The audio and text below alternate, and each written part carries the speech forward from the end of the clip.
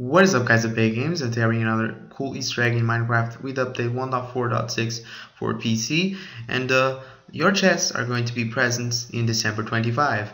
If you want to see this before just change your clock on the settings of your PC and you are going to see this before uh, Christmas time or before the Christmas day which is pretty cool and unfortunately this just works on uh, PC. I tried to do this on Xbox 360 and I could not do it but anyways guys, I hope you guys enjoyed this video. If you did, make sure to leave a like and add your favorites and share it with your friends. And thanks for watching. Subscribe if you're new.